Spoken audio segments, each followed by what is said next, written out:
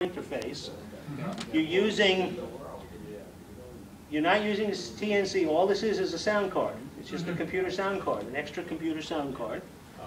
Um, You have to use a piece of software called AGWPE. It was written by SV2AGW. And it's AGW's packet engine, and he provides it for free. He's also got a paid version that has a lot of extra goodies that most people don't need, but, you know, anyway. All right, now I usually use this thing called AGW Monitor, written by the same guy, mm-hmm. which just shows the packets going in and out. It's not doing anything, That's how you see that. it's just showing the packets. Okay. And then finally, there's Paclink. Mm-hmm. Takes a minute to come up. Yeah, here we go. Okay, Paclink is provided by the WinLink people. It's the interface between your email client and your, um, your station. And, and, and the packet, I should say. Between your email and the packet. It's gonna take the email messages, it's gonna form them up into packets. It's gonna put the proper headers and footers and everything else that WinLink needs. So, um, the right frequency? uh, and when frequencies of the top. Huh? The frequencies and stuff. Paclink is this one, okay? No, I say the frequency, Uh, one forty-five, Uh, no, that, that's something else. This 146? Yeah. Yeah. Uh, No, that's something entirely different. Okay. okay. Um, the frequency is set on your radio. So I've already got a pre-program for the frequency I know the N1EZT station is on. Uh-huh. Which is? Well, Uh, what is it? 145, this one is 145.030. Um, and you know, I forgot to do, send me an email. I sent you one.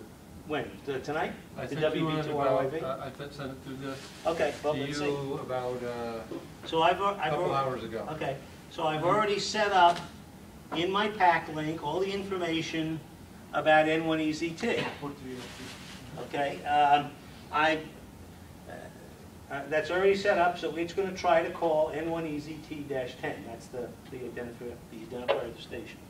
Where where is it located? This one, at your, your house? Yeah, at your. Okay, now it responded, It's got in right away. okay? Got in right away, beautiful.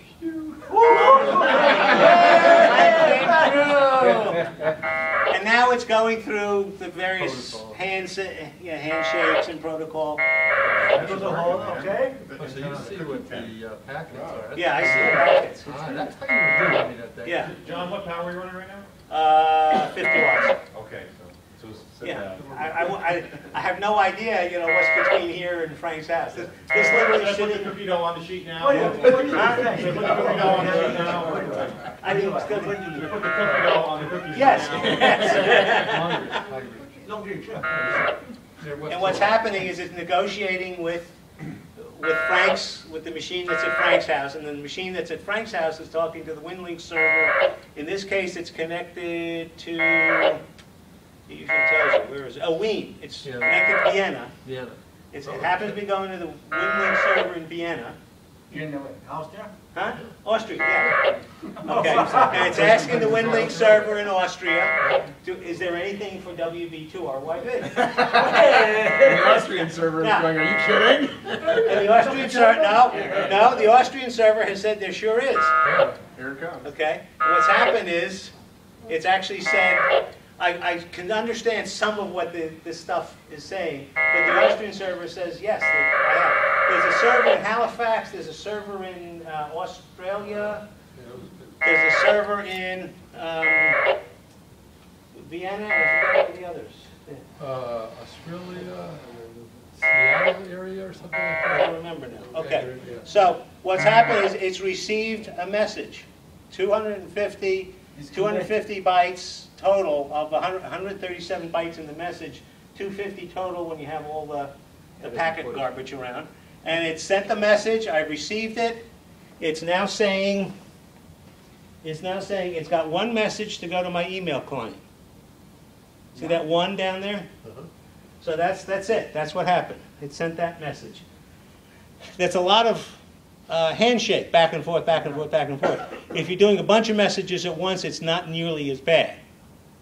Uh, For example, for field day, from our field day site, I sent 22 messages via Frank's, via the machine at Frank's house, from, from our field day site. It took 25 minutes to send them. One of, the, one of those messages, by the way, two of those messages had 5K attachments that I sent to Wayne and to Betsy. And neither of them ever acknowledged them, but I know they got them. sent it, Can you open up your email from there? Yeah, now I'm let's gonna open up my on. email. Now, does that mean that if you have ten people sending, you're gonna have to wait for one to get finished before we Yes. accept the other one? Yes. He's in queue. Yeah, it won't So send, than it- voice, it though. checks to see if the frequency's busy, and it won't send while the frequency's busy, it waits for the frequency to be open. Although it is capable Yeah, of exactly. listening. You know, I Okay. don't, you know, I mean, it could do it because it it shows different channels, you know, that when they're connected to the, the Paclink. Now, when you get sophisticated enough, you can have multiple receivers, you can have multiple radios going into one gateway. Mm-hmm. Or you can have multiple gateways, know, depending on, but yeah, if, this particular one's on 145.030, it's, it's on 145.030. Whatever other traffic is on there is gonna, it could potentially interfere. But you can have multiple gateways, if we had enough volume. Better have a dedicated radio for that, Or Here's what I sent. them. Um, you can, certainly you need a dedicated radio for the gateway, and here's the message from Frank, KB one, It's working. IFX dash three. It's working. It's it's working. working. connected, good. Nice, very But he could have told you that right here. Yeah. But you wrote it one, two hours ago. One hour ago. Yeah, what Yeah, but I version sent that, Windows uh, that software run? Huh? What This, will- this will run on XP, on Vista, and Win seven. Okay, that's it, okay. it won't go Yeah. As usual, there are little, some tricks if you're running it under Vista, because Vista's a piece of, you know, whatever. So either go to Win seven or go to, or stay with XP. John? So you you launched the, the AGW software, um, which then connected to, to the radio and logged onto the, uh, or connected to the WinLink server. Well, AGW is, is a ser, it's a piece of service software. It's not doing anything. Paclink is. It- Okay. It's, Paclink is, is talking via AGW to the radio. Right. AGW is intermediating between the Right. sound card and the So, software. so, so it connected, Mhm. and, and it, it handshaked, and it said, hey, do you have any traffic? And it said, yes, here you go. And then it was done sending it, it terminated the connection. Yes. So you're not connected anymore. That's correct. Okay. That's, now, I could reply to Frank, I don't want to waste everybody's time. I could reply to Frank and then send it, it- same kind of thing would happen. gonna be, uh, Gotcha. But you You can, reply by using normal email. this is my normal Outlook Express. And and then is you type, yeah, I got it, Yeah, and then automatically goes. uh, Yep. your. Yeah, it go- it goes, it can go two things. If the, uh, if the internet is down, I can send it out, you know, to another station as a Paclink set up, and then it can come into the internet that way. So we've tested it out both ways. Or, you know, uh, right? yeah. If, if the internet is working, I can just send it via the And internet. it's gonna. But the whole so idea is do the where, if the internet is working, they don't need us, you know. This is for where the internet is down, the phones are down, they need communication, they need to be able to send files. Or you're communicating with an area where the internet is Right. down, you know, and that, and that's why the servers are all over the world, because the, the assumption is that there is a large-scale but partial failure of the internet, not a Yeah, not a total total. worldwide That's- failure. That's the Right. philosophy, yes. Right. So there's, so Somewhere the, it's open. so the emails are distributed to all the servers around the world, and whichever one you Right. can log into will, will deliver it to you. Right. Yeah. Yeah, so, the- by red, I, I don't know what the algorithm is for deciding which one it logs into, but on different logins, you'll get Vienna, you'll get Australia, you'll get Halifax, you'll get, I know there's one down in the Washington area that's out of service at the moment, but you'll get, there are five of them total.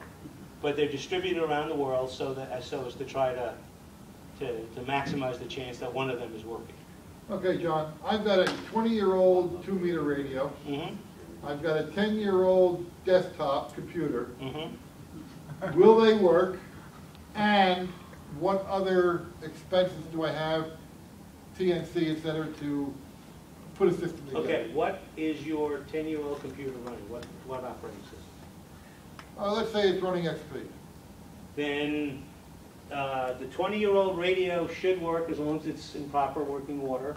You know, if you tune it to 143, 145.030, it's really going to transmit on 145.030. Do I Um, need a PL? No, no. See, whatever you're using for PSK will work for this. Yeah, well, but he's not, he's not doing his PSK on VHF. He's, you said you got a Oh, yeah, right, twenty-year-old sorry. U8 two-meter rig, Yeah, yeah, okay? right. You can go something as simple as this. This is about hundred bucks. That's all you need. Okay? Actually, if your computer's ten years old, you probably need a serial to USB interface too, which is another twenty dollars. That's, uh, well, let's see what, uh, let's see what that was. That was this last message. It was N1EZT to some beacon. I don't know. A beacon. yeah. Yeah. So, but you, you, uh, all you need, all you need is one of these. You can do with the Rig Blaster. There's the Donner digital interface. You can buy the TNCX for 50 to hundred dollars. It's fifty dollars as a kit, hundred dollars pre-built. Um, MFJ has just come, come out with their equivalent of the TNCX. It's a little bit more money, probably not as high quality. I can say that. Um, uh, I don't know if you've seen the latest catalog. MFJ has come out with their own version of the Buddipole, their own version of the Rig Blaster, their own version of the Si- SignaLink, their own version of everything. Um, Even their own version of some of the Elecraft rigs. So they're slightly different.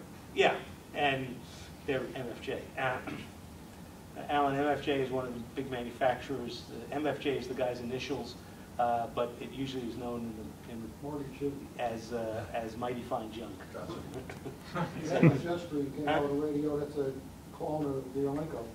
Yeah, so, um, anyway, that, that's, that's it. Now, this is my regular email client. This is what I do my regular email on. I got